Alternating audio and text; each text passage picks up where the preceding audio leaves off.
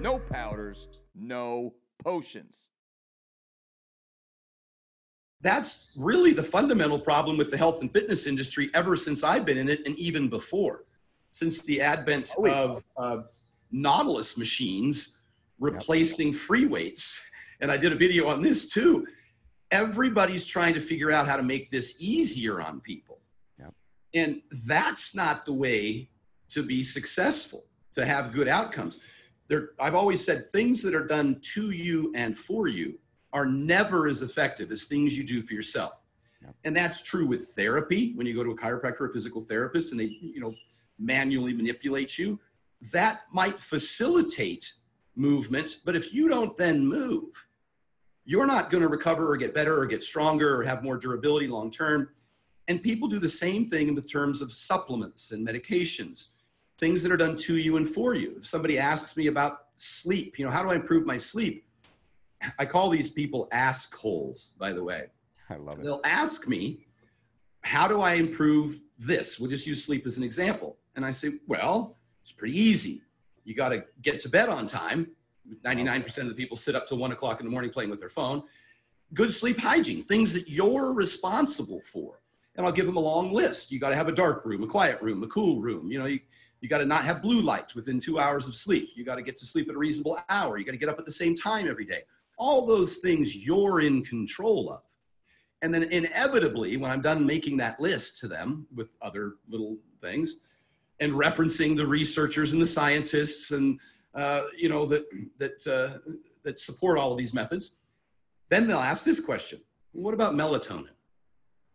And uh, ask hole. That's I just that's all I want. That's all I'm thinking in my head. Yep. You're not interested in making the change. You just want some simple solution. And the same thing could be said of, of even hormones for people who are deficient in testosterone and thyroid. They might be overweight, they might be sedentary, they, you know, they, they might not be getting adequate micronutrients in their diet, but they immediately want to run down and, and get a blood test and get diagnosed and get, uh, uh, you know, medication.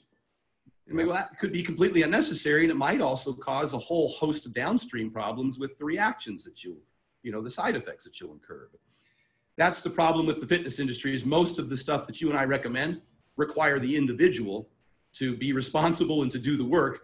And the more responsible you are and disciplined and consistent, and the harder you work, the better the results. It's amazing how that how that works. As proof to this, you're a smart guy. You're a, a shrewd businessman. You're you're successful in in all areas. I try to be like you.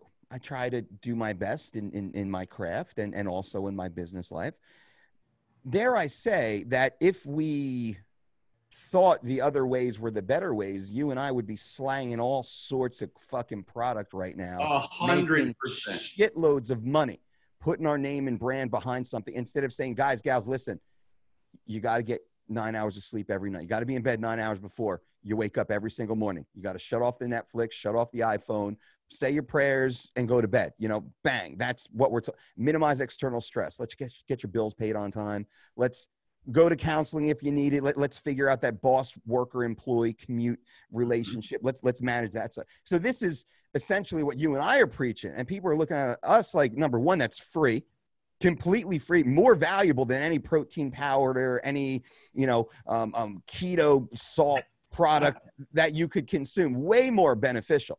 Costs Yeah. zero dollars. And as we keep going down the line, it's like, and then by the way, if, if you need that that that we call ours, it, it's a GPS for your body. If you need that plan, that turn by turn directions, well, shit, we got that. You have the vertical diet. Bang, that's there.